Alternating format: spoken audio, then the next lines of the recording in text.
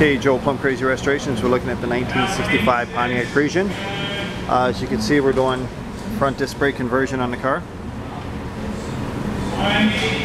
The new booster and master, everything's in place. New proportioning valve. We just do a hookup from these uh, these lines here to the uh, proportioning block, and then this is all done. We've run a new uh, line on the front of the car from side to side. Everything on the front of the car is new for the braking system. Uh, next step we'll be installing a new line from the front to the back.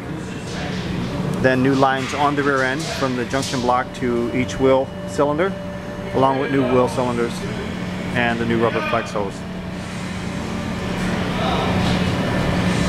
So this car should have uh, adequate stopping power when we're done.